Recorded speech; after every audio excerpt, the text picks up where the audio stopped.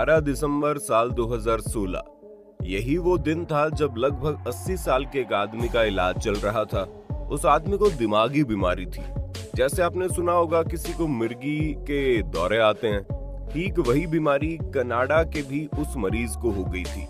वहाँ के जो डॉक्टर थे, वो उसके दिमाग के कुछ सैंपल को इकट्ठा करना चाहते थे। लेकिन इलाज करते वक्त एक ऐसी घटना हुई जिसने पूरी दुनिया को हिला कर रख दिया।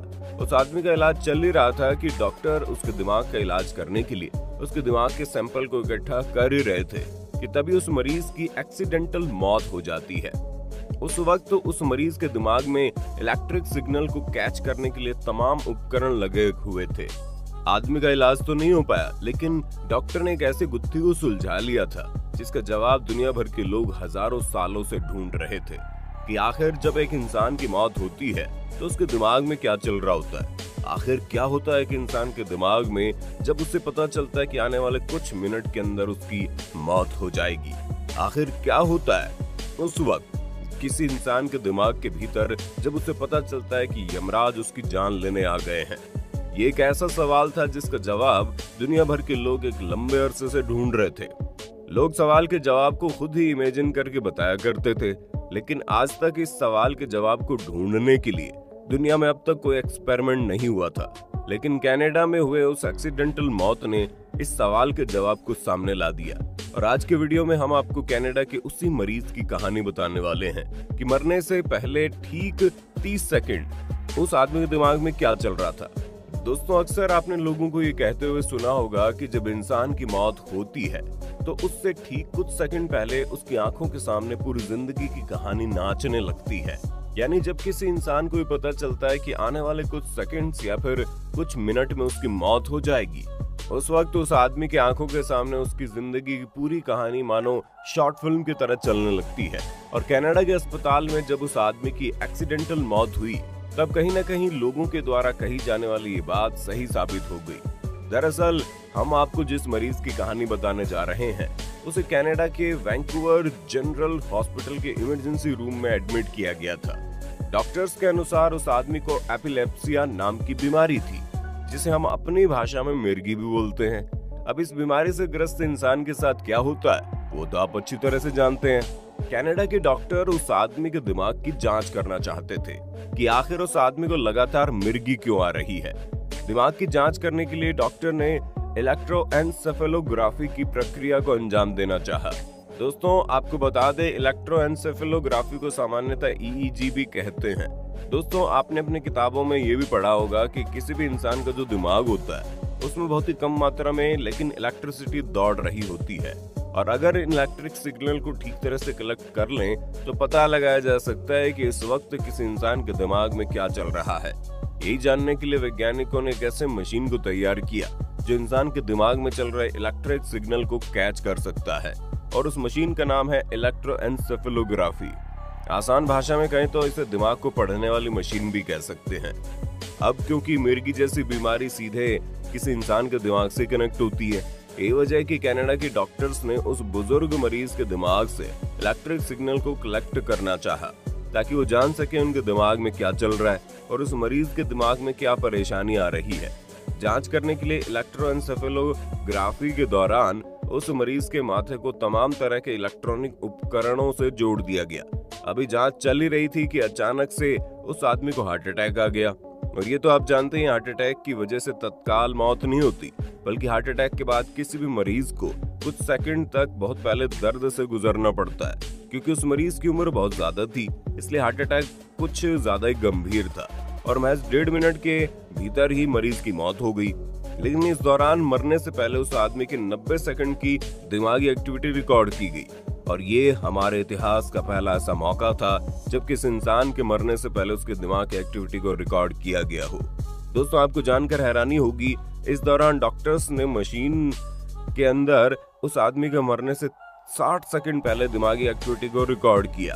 और उससे भी ज़्यादा हैरानी की बात तो ये थी कि जब उस इंसान की साँसें थम चुकी थी, उसके बाद की भी 30 सेकंड की दिमागी एक्टिविटी रिकॉर्ड की गई। आदमी तो मर चुका था, लेकिन उसका दिमाग अभी भी तेज़ी के साथ चल रहा था। बाद में उस इंसान के जो दिमागी डेटा कलेक्ट हुए, उसे शोध के लिए भेज दिया गया। ब्रेन वेव्स पर शोध करने वाले वैज्ञानिकों का कहना है कि मौत से पहले उस इंसान का जो भी डेटा कलेक्ट हुआ था, वो ठीक वैसा ही है जैसे उसकी मेमोरी फ्लैशबैक में चल रही हो। जब कोई इंसान अपनी पुरानी यादों से होकर गुजर रहा होता है, उस वक्त उस इंसान के दिमाग में खास तरह की तरंग पैदा होती है। हैरत अंगेज तरीके से उस बूढ़े आदमी की जब मौत हुई, उस आदमी के भी दिमाग में वही तरंग पैदा हो रही थी। ऐसे में डॉक्टर्स ने साबित तो कर दिया कि ये बात बिल्कुल सच है कि जब कोई इंसान की मौत होती है तो उसके दिमाग में उसकी पूरी ज़िंदगी की घटनाएँ घूमने लगती हैं।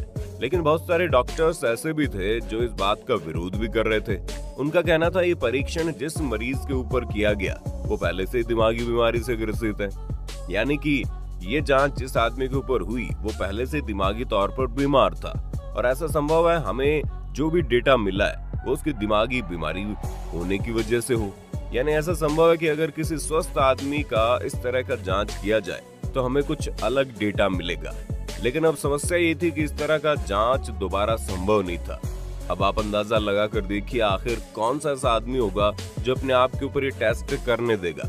और अगर कोई आदमी ऐसा करने की अनुमति भी देता है तो उससे पहले पता होगा कि उसके दिमाग का टेस्ट हो रहा है। ऐसे में उस आदमी का दिमाग अधिकतर वक्त सिर्फ़ इस टेस्ट के बारे में सोचने में निकल जाएगा। ऐसी जाँच तभी संभव है जब फिर से इस तरह का एक्सीडेंटल केस हो जाए। जब डॉक्टर किसी और चीज़ की जाँच कर रहे हो, उसी वक्त गलती से उस इंसान की मौत हो जाए। यही वजह है कि डॉक्टर्स में मतभेद होने की वजह से इस शोध में जो भी रिज़ल्ट आया, उसे कभी पब्लिश ही नहीं किया गया। क्योंकि उनका मानना था कि रिज़ल्ट पहले से बीमार आदमी के दिमाग का है। वो तब तक इस बात को पुख्ता नहीं मानेगा जब तक किसी स्वस्थ आदमी के ऊपर इस तरह का टेस्ट न किया जाए। क्योंकि जब किसी इंसान को दिमागी बीमारी होती है तो उसके दिमाग में मौजूद इलेक्ट्रिक सिग्नल अस्त व्यस्त हो जाते हैं। इतना ही नहीं, अगर किसी आदमी के माथे पे चोट लगती है तो उस वक्त भी उसके दिमाग का डेटा गड़बड़ हो जाता है। ऐसे में इस तरह के डेटा पर विश्वास कैसे करें? रिसर्चर को ये ब्रेन स्कैन 2016 में मिल गया था। लेकिन वो ऐसे दूसरे केस की ताक में बैठे रहे, जिसमें इस तरह के नतीजे दोहराए जा सके।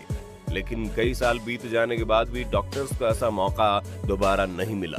और आखिरकार छह साल के इंतज़ार के बाद पिछले महीने इस डेटा को पब्लिकली पब्लिश कर दिया गया। अगर इस शोध के रिज़ल्ट को आम भाषा में समझें तो डॉक्टर भी यही कहना चाहते थे कि जब किसी इंसान की मौत होती है तो उस वक्त उसके दिमाग में उसकी पूरी ज़िंदगी एक शॉर्ट फ़िल्म की तरह दौड़ जाती है। दोस्तों, आपकी जानकारी के लिए बता दे, दुनिया में बहुत सारे ऐसे लोग हैं, जो अपने मौत को बहुत करीब से देखकर वापस आए हैं।